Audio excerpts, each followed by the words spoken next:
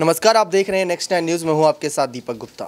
मध्य प्रदेश चुनाव से पहले सबके मन में एक सवाल है कि क्या सचमुच सिंधिया वापसी कर सकते हैं या नहीं?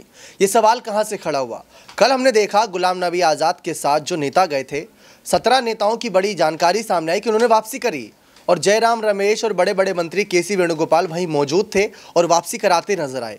लेकिन जब बात आती है मध्य प्रदेश के विधायकों की तो उनको कहा जाता है बिके हुए हैं, गद्दार हैं, इन पर भरोसा नहीं किया जा सकता। आखिर ऐसा भेदभाव क्यों किया जा रहा है? उन्होंने भी तो पार्टी छोड़ी थी। वो पार्टी वापिस आ गए और उनको वापिस आने भी दिया गया। लेकिन मध्य प्रदेश में ऐसा क्यों नहीं करने दे रहे? राहुल गांधी का जो आखिरी फैसला था, वो आपको पहले भी कई सारी रिपोर्ट्स के माध्यम से बताया गया था कि जो बिके हुए हैं, उन पर भरोसा करना बेकार है। लेकिन सवालात अब ये खड़ा होता है कि अगर गुलाब नबी आज़ाद के साथ गए नेता वापस आ सकते हैं तो सिंधिया के साथ गए नेता वापस क्यों नहीं? सिंधिया क्यों नहीं? इस सवाल का जवाब जानने की कोशिश करते हैं। प्रांशी हमारे साथ मौजूद है। सीधा सवाल यही है कि राहुल गांधी ने कहा था, जो बिके हुए हैं उन पर भरोसा नहीं, जो साथ छोड़ गए उन पर भरोसा नहीं, जिनमें ये ताकत नहीं थी कि बीजेपी से लड़ सकें, उन पर अब विश्वास करना बेकार है। तो सिंधिया के मामले पर यह सब उल्टा क्यों पड़ जाता है? उनको गद्दार, बिकावा क्यों कहा जाता है?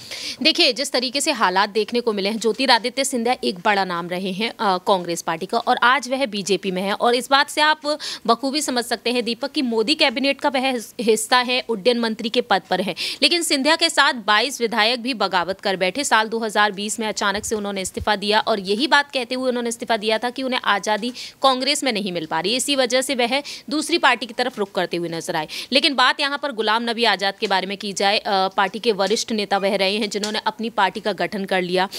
देखा जाए तो गुलाम नबी आज़ाद ने कई आरोप लगाए। लेकिन सिंधिया को बार बार गद्दार यहाँ पर इसलिए कहा जा रहा है क्योंकि सिंधिया के जाने के बाद ही सरकार गिर गई। क्योंकि शिवराज सिंह चौहान ने एक बात कही थी बीते कुछ दिनों पहले ही सत्र के दौरान सदन में। उन्होंने साफ़ तौर पर कहा था कि आपने तो अपनी पार्टी को सड़कों पर उतरने के लिए कहा था। सिंधिया को भी सड़कों पर उतरने के लिए कहा था कि कैसे भी करके मोर्चा खोलना है बीजेपी के खिलाफ। लेकिन सिंधिया ने क्या किया? सिंधिया तो उन्हीं की पार्टी की तरफ़ चले गए। तो इसी वजह से शायद गद्दारी शब्द का इस्तेमाल किया जा रहा है क्योंकि कांग्रेस खुद की मजबूती को पेश करना चाहती थी लेकिन उसमें वह नाकामयाब हुई और सिंधिया ने यहाँ पर बाजी ही पलट दी। एक सवाल ये रहेगा, अगर बीजेपी नेताओं को टिकट नहीं देती चुनाव में लड़ने का तो वो वापसी देखेंगे कांग्रेस की ओर या किसी और पार्टी की ओर? तो क्या कांग्रेस में वापस आने देंगे देखिए, फ़िलहाल देखा जाए, हाल ही में एक बड़ी खबर सामने आई है। शिवराज सिंह चौहान की कैबिनेट का हिस्सा है, सिंधिया के समर्थक ब्रजेंद्र यादव। और ऐसे कई उनके समर्थक है, तकरीबन नौ समर्थक बताए जाते हैं, जिनमें से चार का यहाँ पर मंत्री पद इस वक्त खतरे में भी पड़ा हुआ है। कहीं ना कहीं उम्र के आधार पर उन्हें साइडलाइन किया जा सकता है, लेकिन सिंधिया से राय मशवरा लिया जाएगा तब।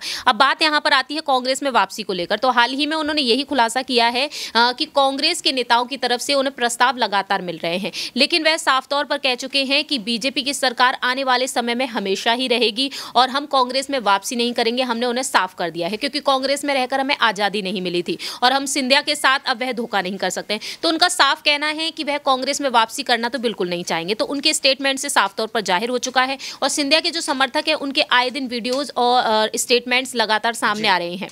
ये बात साफ़ है कि कहीं ना कहीं सिंधिया के समर्थक और गुलाम नबी आज़ाद के साथ गए नेताओं में जो अंतर था, वो अंतर ये था कि गुलाम नबी आज़ाद ने अपनी खुद की पार्टी बनाई और उस पार्टी में तब नेता शामिल हुए। खुद की पार्टी बनाई, ना कि बीजेपी में शामिल हुए। लेकिन सिंधिया के समर्थक और सिंधिया बीजेपी में शामिल हुए और जो बीजेपी कांग्रेस मुक्त भारत की बात करती है उसमें तो शायद ये गुस्सा इसी वजह से ज़्यादा है कि इनको वापस नहीं आने देना है। तो ये मध्य प्रदेश चुनाव से पहले राहुल गांधी का आखिरी फैसला है कि जो बिके हुए हैं, उन पर भरोसा करना बेकार है और इन सबको पार्टी से दूर रखा जाए, वही बेहतरी के लिए रहेगा। बने रहे चैनल के साथ, ऐसी और तमाम जानकारियों के लिए बहुत बहुत धन्यवाद।